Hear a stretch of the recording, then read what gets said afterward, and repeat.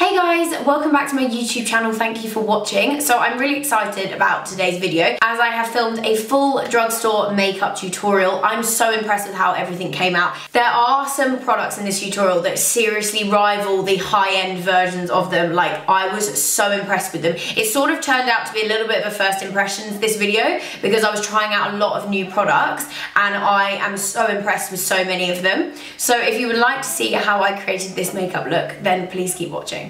I thought for this look today I would do something quite glam um, because my last makeup look was obviously just all about skin. So I thought I'd have a little bit of a play with some eyeshadows. So I picked up this palette, which is the Revolution one here. So this is called uh, Reloaded Neutrals 2. I just really like the colours in this. I think it's got a good sort of mixture of everyday tones and also colours that you can wear when you want to do a little bit more of a sassy look, you know, which is I think is important when you're buying a eyeshadow palette to have sort of like day and night so that you can use it more. So I bought quite a few new brushes as well because I wanted to use drugstore brushes as well as much as I can. I do believe that sometimes it is worth investing in your makeup tools. So for example, I will be using a beauty blender because I just don't think there's anything out there in a drugstore that is as good as a beauty blender.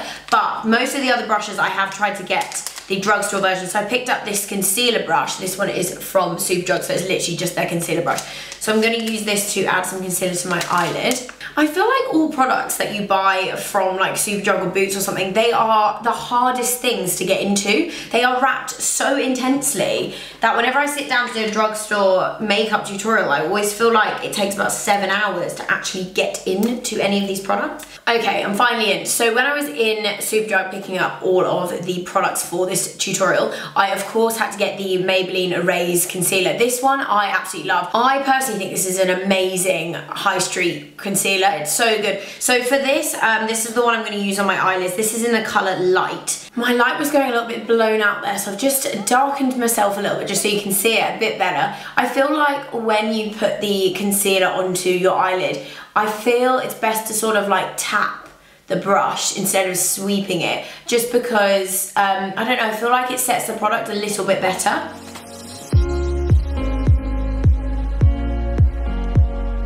so as you can see I'm bringing the concealer all the way to my nose and up to my eyebrow I had one of those LVL lash lifts recently um, and it's been really good for when I sort of don't have any makeup on. My lashes naturally are quite straight but I find it such a pain in the bum when I'm trying to do makeup now because my natural lashes sort of stick upwards and they get in the way a little bit but it's fine. I will work around them it's funny because I always complain about having straight lashes, but since I've had this LVL treatment, it makes me realise that actually they are annoying that they're straight, but they're great for when you do makeup because they just do not get in the way at all.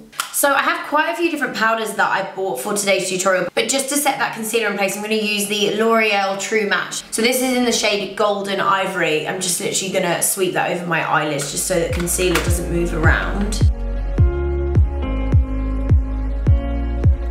Feeling so flushed in my face. Literally, as I'm looking in the viewfinder down here, I'm like, why am I so red? I'm like really warm, but it's not warm in here. I'm like warm from the inside, which is very weird. Right, so now that I've set my concealer, in place, I'm going to go in with this eyeshadow palette. So for this, I basically sat down and I have no idea what I want to do or how this looks going to turn out. I'm just to go with the flow and see what we end up with. So I'm to get the Revolution palette out. I think I'm going to start with this colour down here, this sort of like light nude, just to sort of build up my crease a little bit. It's actually a really nice colour. So for the brush I'm to use for this, I'm to use this. So this is an eye blending brush, actually the one I use to set my powder. This one is a Studio London, but it's this is what the branding looks like, but I got it from Superdrug. Um, so yeah, so it's just a, as I say, it's just a blending brush. So starting with that colour, just gonna blend out my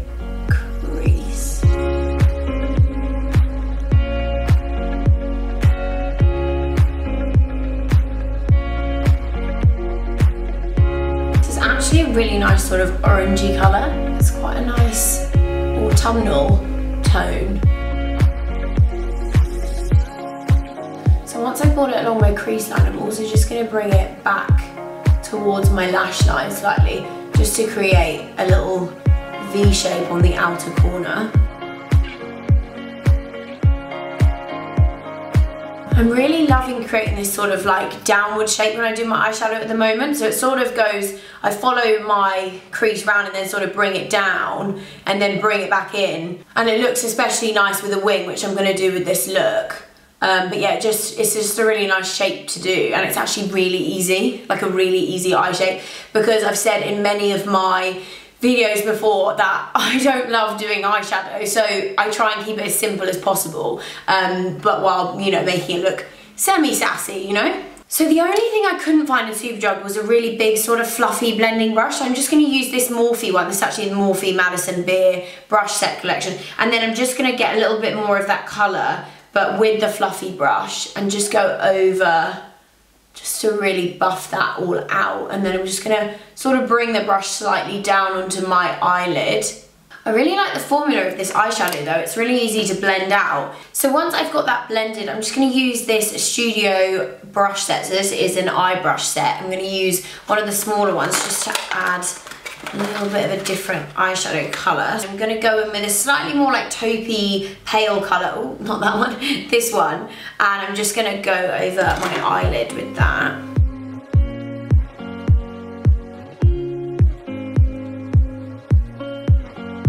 With these two colours I'm going to alternate between using the brush with the paler colour and then also just that blending brush that I used just to kind of buff both of them sort of into each other. Just looking to create a real sort of soft ombre.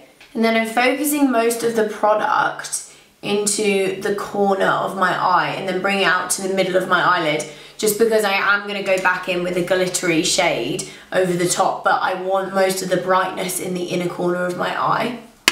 So now we have a nice little soft ombre eye there. I'm just gonna add a little bit of glitter because as I said, I wanted it to be a little bit more of a glam eyeshadow look. So which one do I wanna go for? That's the question. There's this really nice sort of pinky shade here, which could be quite nice. There's also this really lovely gold color, which I think might work best. I don't want to go too too colourful. I do get a bit scared to use too much colour. It stresses me out a little bit. Yeah, that's a lovely gold colour. So I'm going to use the other brush from that eye brush set that I was just talking about. And then I'm going to focus it into the middle of my eyelid. Just make sure I'm in focus there. Sometimes I do find with um, slightly cheaper eyeshadow sets, it's easier actually to pack the colour on using your finger. I think the um, eyeshadow sort of comes off a bit better and then blend it out with a brush. Annoyingly, the sheen and the colour from this eyeshadow is not showing up that much on camera, but it's actually got a really lovely sheen to it. So I just added a little bit of the NYX Radiant Finish and Makeup Setting Spray to the brush, and then I also just added, so I basically mixed these two shades here to get a little bit more of a glittery look. This one's got a little bit more of a lighter shine to it, so that's what's given it, it really pops now. So with the Makeup Setting Spray, and then these two shiny shades mixed together, Got a nice little shiny lid, a little soft ombre going on. So Next up, I'm gonna move on to a liner. For liner, I'm actually gonna use the L'Oreal. So this is the matte signature eyeliner. This is one of my favorite eyeliners. I'm obsessed with it. Been using it a lot recently, actually just for like everyday use, just to give myself a little bit of a little wing. So I'm going to do the step that everyone hates when they're doing their makeup, honestly. I feel like every time I do it, I get anxiety that it's just not gonna work. One of the best things about this liner, it's got this really small, super, super pointy tip on it, which is really ideal for when you are doing liner. So I'm going to not speak while I do this so I can try and get it right.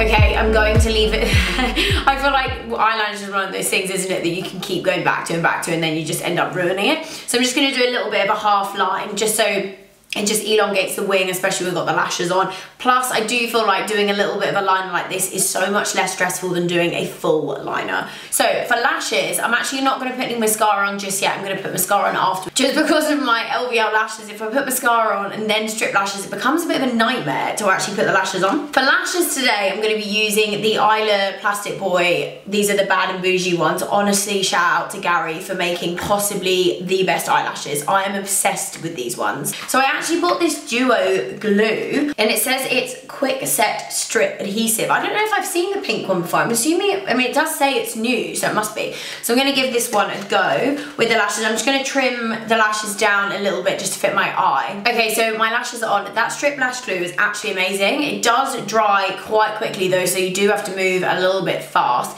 It's also actually black, which I didn't realize. Um, but it's still great. And I think because I've got liner on it works anyway so it's not an issue. But I do think when it comes to duo the clear kind of like translucent like it almost got a shine to it. One is my favorite. But I just seem to like never be able to find it in shops. I always have to get it online. I think it comes in the green packaging it's definitely the best one. But that one was good. I do rate that because it does dry really quickly. So I'm going to start with this L'Oreal product that I found. It's basically an anti-redness product. Um, it says anti-redness skin enhancer. And you guys will know if you've seen any of my other makeup tutorials how obsessed I am with that Dr. Jart color correcting cream. And that is green. And when you put it on, it gets rid of redness. So I thought I'd give this a go. This is a real sort of first impressions because I've never used this before. Um, so we'll see, we'll see how it goes. But I'm hoping that it will give a similar sort of vibe to that. And I need the redness today because my cheeks, I mean, I look so rosy, I can't. Oh, it does literally do what that Dr. Jart stuff does, where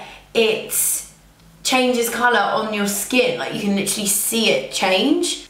This also feels absolutely amazing on my skin. I think because it's a CC cream, it's meant to be sort of worn on its own, um, but I do, I quite like using CC creams as primers. This is amazing. You can literally see it working as it goes onto my skin. Okay, so moving on to foundation, I got this B blending brush. These B brushes that you can get from Superdrug are actually really good. So this is just sort of like a buffy brush. Buffy brush, that's probably the technical term. So for foundation, not that I feel like I actually even want to put foundation on after this amazing product, oh my god, I'm honestly obsessed. Um, I'm gonna use the Maybelline Superstay Full Coverage Foundation. I actually asked you guys on my Instagram what foundation I should use for this tutorial, and a lot of you came back with this this Maybelline 24 Hour Super Stay. I've never used this before, so I'm excited to do, as I say, a little bit of a first impressions with this, but you were all, uh, there was a lot of you, it was a very sort of popular choice. So I've got the colour, um, it's, I feel like it's always hard when you're standing in a drugstore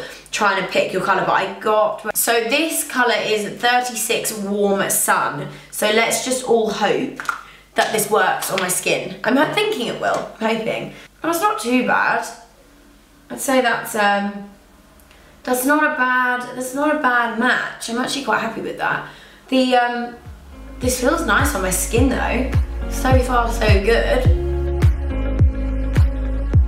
So I'm just roughly um, putting my foundation on here because I'm gonna go back in with my beauty blender. As I said at the beginning, um, beauty blenders are one of those things that I just feel like I can't do my makeup without. But the best thing about them, I know they're not technically drugstore, but you only need to buy them occasionally. So it's not one of those things that you're constantly running out of. You can sort of invest in it and then know that you've got it for a while. I'm just gonna grab it and blend in my foundation.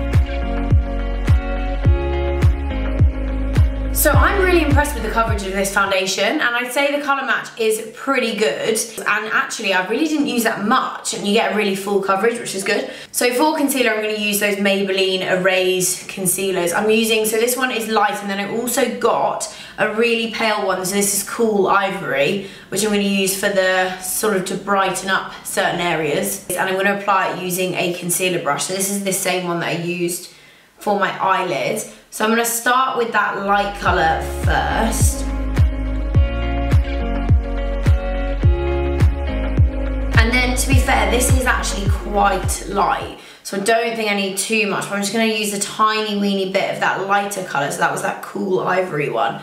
I'm gonna put it really close into the corner of my eyes just to get a really nice bright under eye.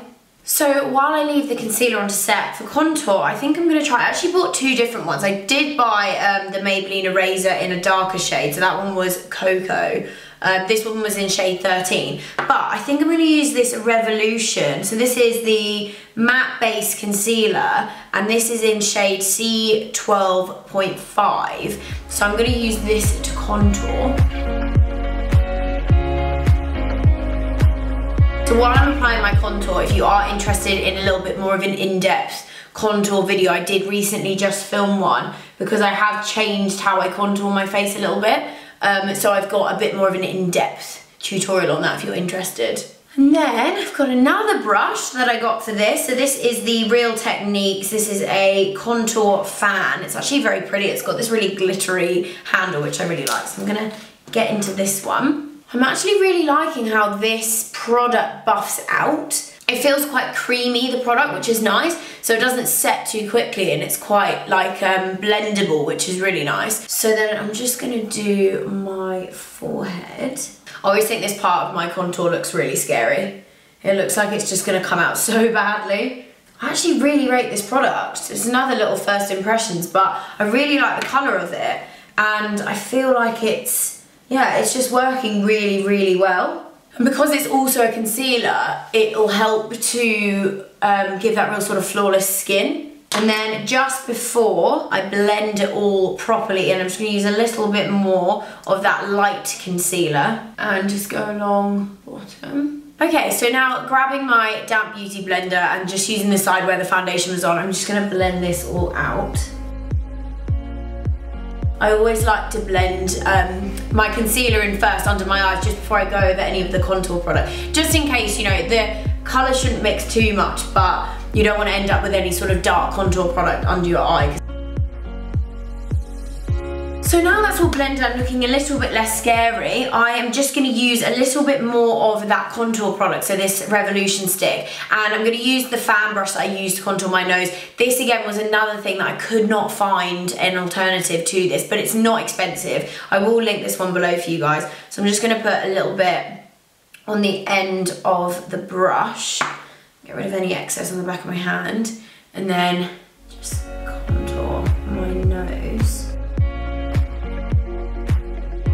So now I'm going to set my face. So I got this Lace Revolution face powder. So this has got a little slight pink undertone. So I'm hoping it's gonna be similar to the YSL one that I use because I am absolutely obsessed with that one. And I just figured anything with a slightly pink undertone is always great for under your eyes, so I feel like this should work really well. So with this powder, I'm gonna be using this Dose of Colour sponge. Again, this is another one that I tried to find a pointy alternative like this in the in Superdrug, but there just wasn't anything. But I will link this one below. It's just so good to get really into the corner because it's got such a good point on it, and it's also great to sort of drag down your nose like that. It gives you a lot of control over the powder, this sponge, which is why I love it. This is good though. This powder is looking and feeling really, really similar to that YSL one that I use. I absolutely love when I film these drugstore makeup tutorials and I find stuff that works just as well as the slightly more expensive version. Like, for example, that colour correcting um, CC cream. That was so similar to the Dr. Jart one. It was unbelievable. I feel like we're gonna get a really, really amazing like eye brightness with this powder. Okay, so I'm gonna leave that to set. And while I'm leaving that to set, I'm going to do the rest of my face. So for this, I got this Studio, this is just a big sort of powder brush, this one. And so for the rest of my face, I'm gonna use that L'Oreal True Match powder that I use to set my eyelids, and this is in the shade 1D. I obviously normally use a translucent powder to set the majority of my face, but there isn't, I didn't really see a really good translucent powder alternative to that Laura Mercier one, which I'm obsessed with, um, because they're all sort of, the drugstore versions, always they're, they're like white, and it sort of stressed me out a little bit. I was like, I don't know if I want to use a white powder, but this L'Oreal True Match one is such a good powder. I love watching the shine disappear. It's so satisfying. Even though this one te technically has got um, a colour to it, when I'm putting it on here now, I feel like it's got a very similar vibe to a translucent setting powder because it's not changing the colour of my cheeks too much or getting rid of that contour or any of that kind of stuff, which is good. And then I also got, because I'm obsessed with using the Laura Mercier translucent setting powder medium deep to do my cheeks. So I also got the shade, um, what is this one? Let's see, this shade is called Golden Cappuccino in the True Match because I thought it would probably work similar to the translucent setting powder in medium deep. For this I'm just using an e.l.f. Cosmetics brush. So I'm going to give this a whirl. This again is another first impressions because I haven't actually used this. This is looking good, this is looking good, I like this. It's got a really nice soft colour to it, which is exactly why I love the medium deep translucent setting powder because it's like a bronzer but it's not quite so as intense as a bronzer. So I'm basically just putting this L'Oreal powder just everywhere that I put the contour product. I'm also going to do under my chin. I'm definitely feeling this powder though. It's working so, so well. It's actually so nice. I don't think I'm even going to bother with a bronzer. I'm just going to put some blush on. And so for blush today, I'm going to be using the L'Oreal Life's a Peach blush. This is such, such a nice blush. Honestly, I'm absolutely obsessed with it. It smells unbelievable. It literally smells like peaches. It's so nice. I'm going to use another, so I got another one of these Studio face brushes. I'm going to use this for blush. Can see there that it's given like my cheeks a nice bit of colour, but it's not too pink. So for, to finish off my eyes, I'm just gonna use that colour there that we used in the crease, just on my waterline. And then I'm gonna put a little bit of mascara on as well, but I think that's all I'm gonna do. I've got a really nice formula, these Revolution eyeshadows. So before I set my face, I'm just gonna do my lips. I'm gonna use the NYX Cosmetics. So this is the lip crayon in Nude Truffle, which I kind of picked up because I think it's quite close to Strip Down. So I just blended that in slightly and then for lipstick I'm going to use the Maybelline. So this is this Superstay Matte Ink in Driver. This used to be my absolute go-to nude. I used to wear this all the time when I was younger. It's quite a cool tone nude, but I think it works really well, especially if you've got like a an, a heavy eyeshadow look or something you want like a really nice, it's, it's a proper nude nude, this lip colour. Before I put a little coat of mascara on my bottom lashes, I'm just going to set my face. I'm going to use the NYX, so this is the Radiant Finish Setting Spray. I decided not to go for any highlighter for this look because I do love a matte glam as you guys will know if you've been following me for a while um, you could obviously add highlighter to this but I just kind of wanted it to be really sort of matte and soft so I'm just going to set my face so yeah, there was a lot of first impressions in here that I absolutely love. I think the standout products for me definitely are this um, colour correction cream, the foundation, oh, this um, contour stick from Revolution, that was amazing. And of course, this Revolution lace powder, which has worked so, so well. So there we go guys, that is my finished drugstore makeup look. I really hope that you have enjoyed watching this. I've loved filming it. I've been desperate to do one of these all throughout lockdown, but I wasn't able to actually get to a drugstore to do it.